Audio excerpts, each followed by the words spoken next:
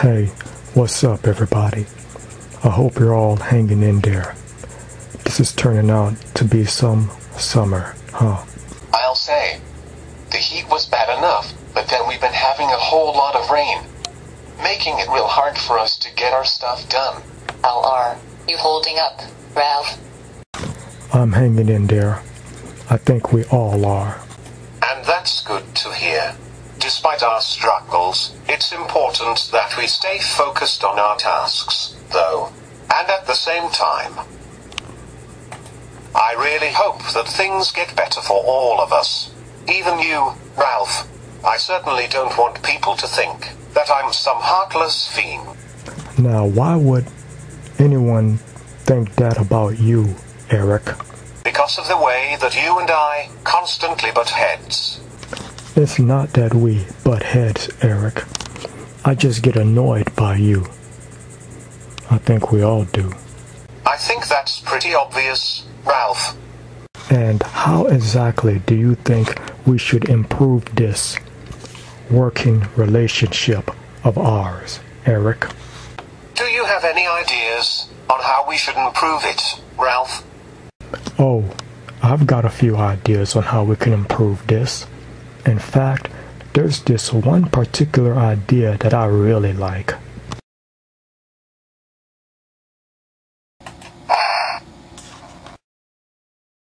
So, are we here to talk about the Batman Arkham Knight game? Yes, we are, Natasha.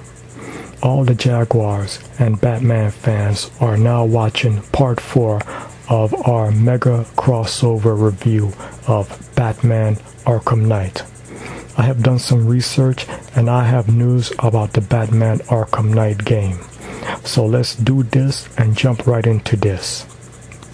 When this game was developed by Rocksteady Studios and published by Warner Brothers, it was supposed to be playable on PC as well as Xbox One and PlayStation 4. But because of the issues and problems, Rocksteady and WB Games pulled the PC version of the game offline to address its mired issues. The game is still not available for purchase, but if you bought the game before it was pulled offline, it has been receiving updates throughout the process. The link where WB Games addressed this issue is in the description section of this video.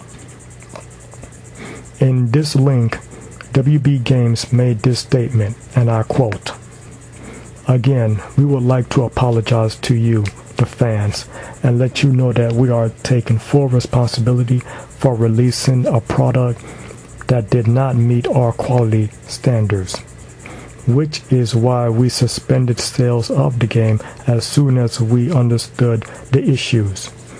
We can also assure you that because of this latest launch, we are modifying the internal review process for all of our games. For those who are waiting for the updated version of the P- of the game on PC, please know that we are working on this every day. For the players who are continuing to play Batman Arkham Knight on PC, fixes are continually being made to the game as as we await the final updated version. Our continued focus on getting the right PC fixes in place for the main game has had an impact on the development of all DLC content for the PC version of the game.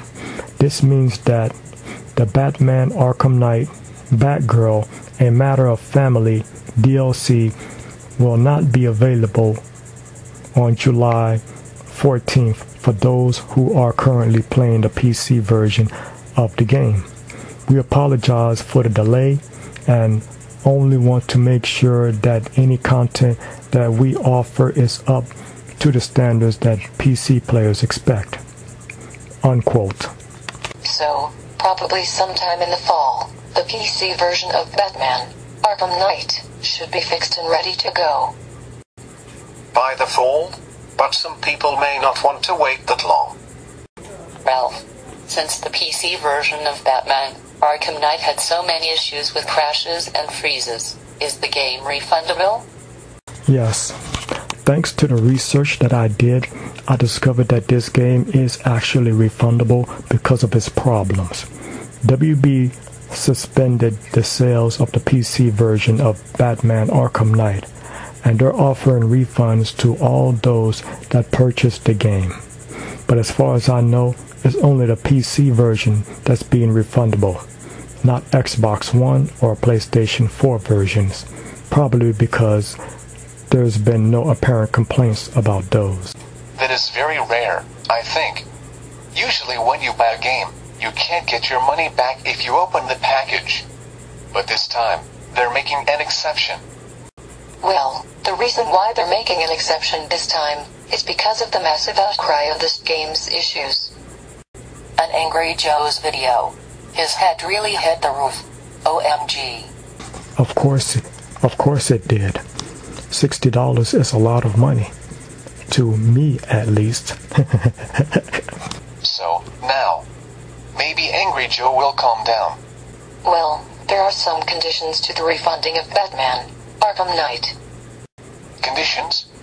There were conditions to the refunding of this game. How are they gonna put conditions on people who should rightfully get their money back on a game that didn't work properly? Haven't they been through enough hell? I totally agree with you, Sean. The PC version of this game didn't work right off the bat. No pun intended. So the customers should get their money back. No questions asked. On GameRant.com, the link is in the description section of this video, by the way. This is being done through Steam's new refund program, which allows anyone to receive a refund for a game as long as they played for less than two hours and have owned the game for 14 days or less. Presumably, the refunds being offered by WB transcends the two hours of playtime requirement.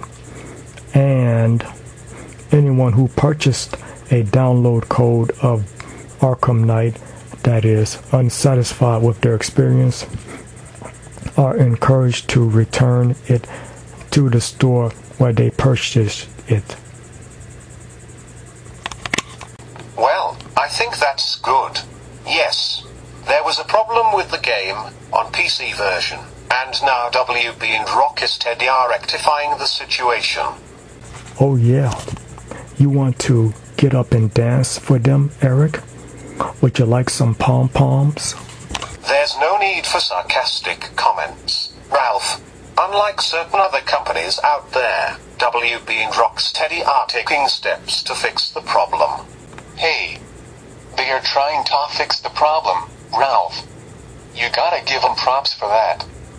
But what about the people that are gonna wait for the updated version? That's coming in the fall.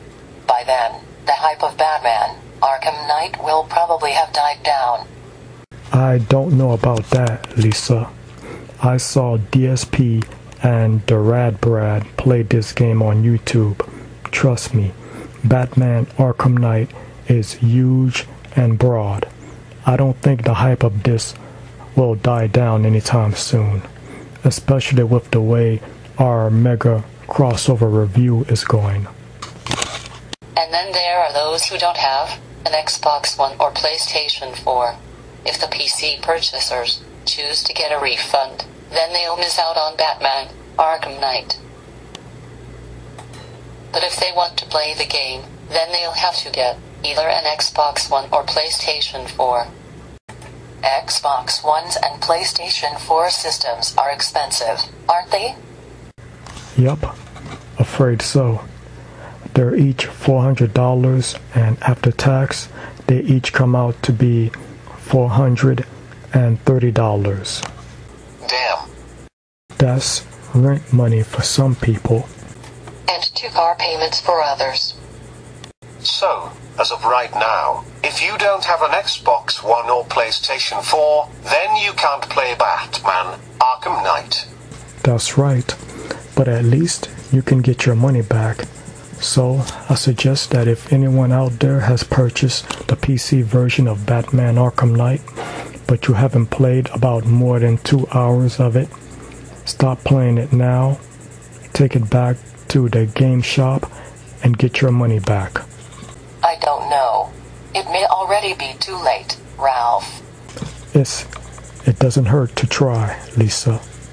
I think it's real unfortunate to those that already bought the PC version and now they have to get it refunded. Because to me, Batman Arkham Knight looks like a real good game. It's an epic game, Natasha. Very epic. Whether you actually play it or watching it get played, it tells a story and gives a good show. I guess the story is a joy to watch, even though I'm not happy about the ending. I like the graphics and layout of the game. It doesn't get any better than this. The graphics and appearance of all the Batman Arkham games are epic. And Batman's costume didn't hurt, either. It's not even a costume. It's more like high-tech armor. The bat suit that he wore for Arkham City is the same that he wore for Asylum. But then, they made a much different one for Batman in Arkham Origins, a much greater one. But Batman changes suits all the time. For the movies, TV shows, and the video games, they're all different. Different and real good, too. Do you think that Batman's outfit in Arkham Knight is the best? Hands down, Ralph. This one in Arkham Knight has got to be the most high-tech armory. With this armor, Batman could go toe-to-toe with Iron Man. He could probably beat Iron Man. Oh, I don't know about that. What do you think, Sarah? It's okay.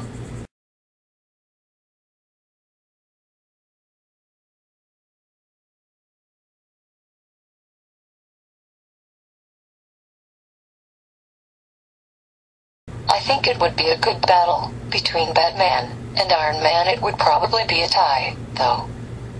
Why do you think that it would be a tie? Because Batman's armor is very epic, and it's just as good as Tony Stark's Iron Man armor. No, I think Batman's armor is better. I like Iron Man, too. But I think Batman's Arkham Knight armor is better. I mean, you watched it on YouTube. Did you see the armor? Come on. You know that's epic. I think we all can agree that all of Batman's armors are epic. He always equip, equips them with the latest technologies and superior gadgets. I mean, that communicator monitor mounted on his wrist really impressed me. Batman can talk to his allies like Alfred and Nightwing on that. And I bet he can watch cable TV on it too.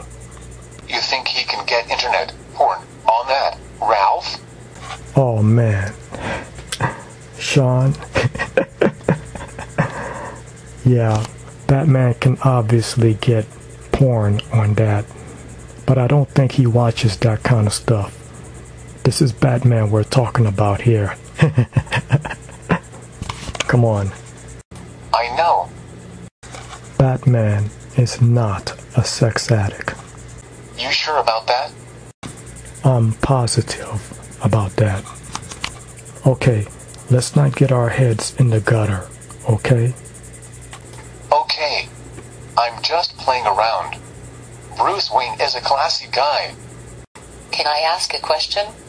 Why is it that, if something has nothing to do with sex, it somehow finds its way back to sex? Welcome to my universe, Natasha. Your universe is dirty and sick, Ralph. I know. Alright, now let's talk about the progress of our mega crossover review. Yes. Let's talk about the progress of this. Because, so far, the views aren't up there. Oh, jeez. Again with the views, Eric. Jeez. View count is very important. Ralph, we have to get them. Well, yeah. We are kind of struggling with the views, and you already know why we're struggling with views, and I think by now the Jaguars know the situation and they're bearing with us. Therefore, we don't have to be quote unquote broken records here. I think Ralph has a good point, Eric. We don't need to keep bringing up the views all the time. Everybody knows that viewership is an issue for us. We're all working hard to resolve this issue, and that's the thing to do. Exactly. Instead of sitting here and complaining about it, we're taking action to raise up the view count on all of the web series and YouTube channels of Ralph J. Images. And what exactly is being done? For starters, we have been promoting the web series and YouTube channels of Ralph J. Images on a few other websites. And soon, the animated versions CC Jones, Rocky Blue, and Naruto will be getting their own solo series on the Ralph Jaguar 1 channel. So, yes, now the cat is out of the bag. We're working on the web series for CC and Rocky and Naruto as well. But the thing is, it's taken a while for us to get it up and running, mainly because of the personal issues that we're having. We are working very hard on getting those series going for CC, Rocky, and Naruto, and we will get it done.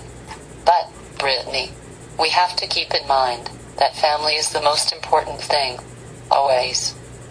Of course, Natasha. I think that family is the most important thing. I really like working at Ralph J. Images. And I love putting together these videos for the Jaguars. But family has to come first, always. Right. Now, about our mega crossover review of Batman Arkham Knight. Now, I don't think that we need to dis- discuss part one because there we were able to set things in motion, so to speak.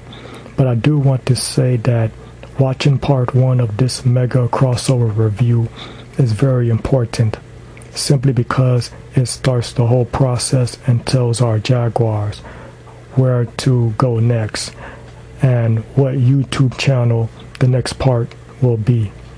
About part two, that is where I, along with CC, Rocky, and Naruto, interviewed Harley Quinn. So, how do you all feel about that? I think that installment went very well. I really like the trailer and videos that you played. It really got me excited. I think that Batman, Arkham Knight Father to Son trailer got everybody excited and fired up. Made me want to get up and fight. Yeah, that's the video that gets me fired up too, and want to start swinging. I know how you feel, Ralph. The Scarecrow is just a bully. And that's how he's acting. And you feel like, you know, you just want to punch him in the face. Yeah, Scarecrow needed to get that beat down, and Batman gave it to him too. And that's why I wanted that video in there. And again, I thank the Creative Commons of YouTube for providing us with that footage because it helped us give the Jaguars and fans of Batman an idea of what this game is about. And I think that all of the parts of our mega crossover review has done that. Ralph, in part 2, you brought in Harley Quinn from the game. Then, part 3 was on the RJ Gaming channel. There, we showed a sample of the playthrough that's in the game. And once again, Creative Commons of YouTube came through for us. They're the ones that provided us with that footage. Ralph, I think that interview with Harley Quinn was a trip. I think you kind of put her on the spot with some tough questions. Now, I didn't think that the questions were that hard. I didn't really expect her to know what a PC is. I didn't expect her to know what a DLC is either. I mean, I was happy to explain it to her. But then again, Harley Quinn was a psychiatrist before she got with the Joker. So, what are you saying, Ralph? Counselors are supposed to be smart? Well, most of them are. You did ask some tough questions, Ralph. They were tough for Harley. Yeah, we asked her what she thought about the PC version of the game freezing and crashing. And she said that she didn't know. And when you and Rocky explained to Harley how that was bad for the costumers and the company, Harley said that they should just get an Xbox One or PlayStation 4 to play the game. And I thought that was a good answer for her. You know, Harley did the best she could with it. We all know that Harley Quinn is not a rocket scientist by any means, but she's certainly not an airhead, as she puts it. In Batman Arkham Knight, I think Harley Quinn's character was epic, and she contributed a lot to this game. I like Harley Quinn. She's real hot. But you don't like the Joker. That is what didn't set too well with Harley.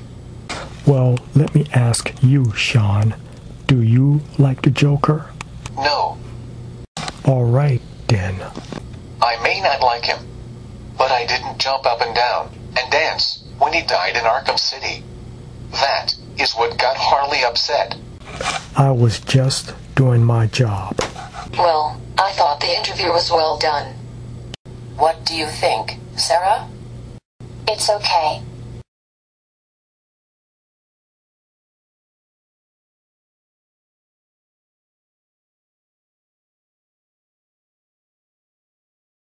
Okay, the links to the previous parts of this mega crossover review, parts 1, 2, and 3 are in the description section of this video, and part 4 will be on the Ralph Jaguar 1 channel. There we will discuss and see the Batmobile in action. So before we wrap this meeting up, does anyone have any questions about the Batman Arkham Knight video game or our mega review of it?